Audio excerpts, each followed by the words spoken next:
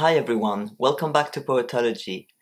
This video is going to be a demonstration of how I do a spread in my journal. This was a request from one of you and so I took the opportunity of being in an amazing landscape in the northern Scottish Highlands for a few days to make a spread and film myself while I was doing this so that you can see how I fit journaling into my life and how I combine sketching and writing on a journal page. But just before we move on to this, I'd like to thank all of my subscribers because I finally reached 1000 subscribers on this channel and I'm very pleased with that and I really hope everyone is enjoying the videos I put out.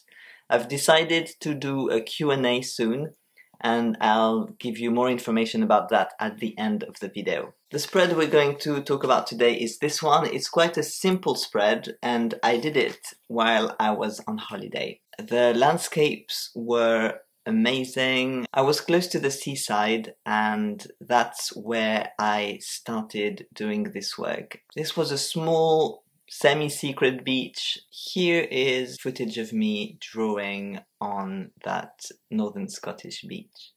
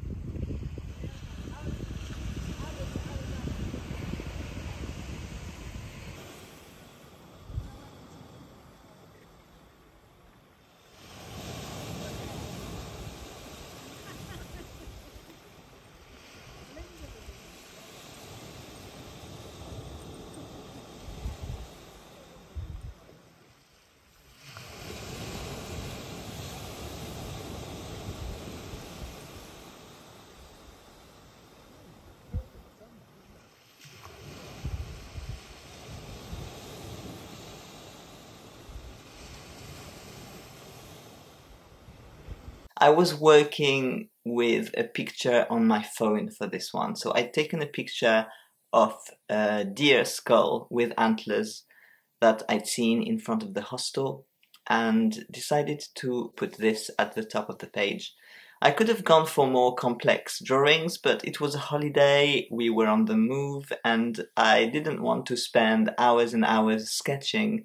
So in this case, you will see very simple sketches the point is to record something from your experience that will stay with you. And I assure you, even if it seems like a simple drawing or even a little silly, over time it will take on a lot of importance because it helps you remember a time and a place where you observed certain things and recorded them in your journal. I didn't work on it again until the next day when my partner and I were driving around and we stopped at a little cafe that was, I think, called the Garden Cafe in Drumbeg and while we were there I decided to draw the skyline of the mountains that are behind the hostel where we were staying. We had hot drinks, we had cake and it was a bit cold but really lovely.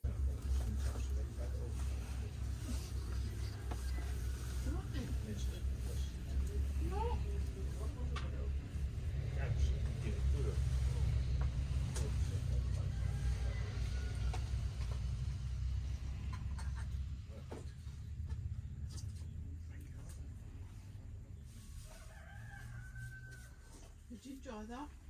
Mm.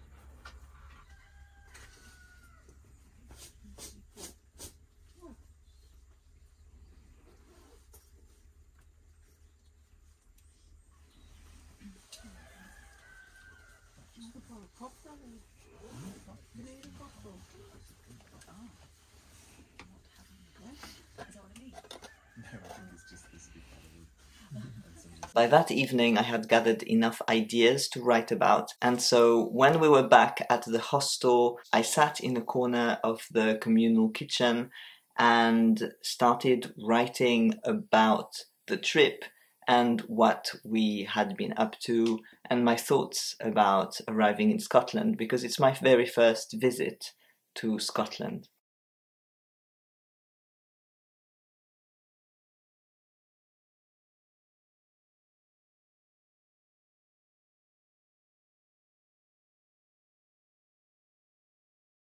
So by then I had two drawings on that page and a block of text. I only finished writing the following morning in the room of the youth hostel and I don't have footage of that. I was just in my bed in the morning and decided to finish writing, but you can see the final results here. I waited until I was home to put the stamps that I use. Because we only had one small backpack for this trip, I didn't bring the stamps with me, but I left a space where I knew the stamp would go later on and a small indication of which day I'd been writing on. And so I was able to just add the stamps at home. And here is the finished result of my full journal spread. I hope you find this video useful and inspiring. Don't hesitate to go and try. I didn't make a huge effort to make like a super impressive page for this video. I decided to make a more everyday kind of thing that I could easily integrate within the program that we had. And so I really encourage you to take a journal somewhere and try to do the same and just use the little pockets of time you have in the middle of a busy day to make small progress on your page. You don't necessarily need huge blocks of time to do this. Just learn to integrate little bits here and there and you will be very happy with the result. I said earlier that I would do a Q&A, so if you have any question to ask me, please put it in the comments below. You can also contact me on Twitter at Dr. Danne or on Instagram at Danne's Notebook to ask your question and I will feature all of them in a video soon where I talk about this channel, how it all started, where I hope it's going, and answer your questions about everything. Thank you again if you have already subscribed. If you haven't, please do it. It's the best way to support Poetology and I really appreciate it. Let me know if you like to journal in the chat and if you've ever been to the Scottish Highlands and I look forward to seeing you in the next video very soon. Bye!